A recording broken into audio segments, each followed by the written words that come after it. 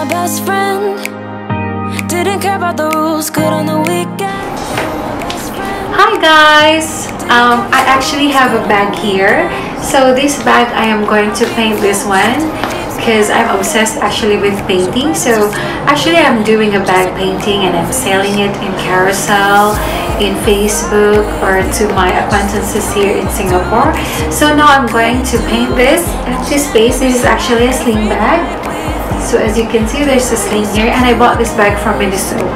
So I can just um, paint it over here and since it's Christmas is upcoming so I'm going to paint something very Christmassy here like Christmas theme or anything that resembles Christmas so just stay tuned with my um, video vlogs and you can see how I paint this one and you can also uh, find out what's the finished product for this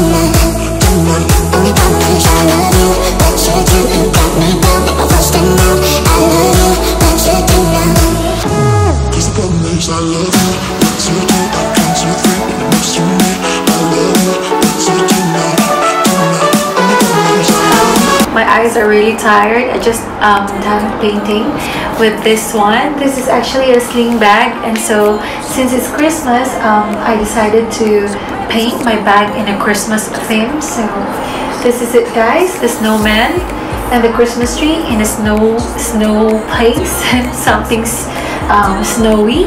So yeah, this is it and if you like it guys, um, I'm selling also my, my bags, my bag painting um, just um, PM me or just comment in my YouTube channel.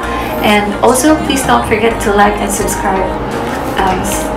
Also please follow us in Instagram at Bhen and Yuri. Thank you guys. Hope you like this. Bye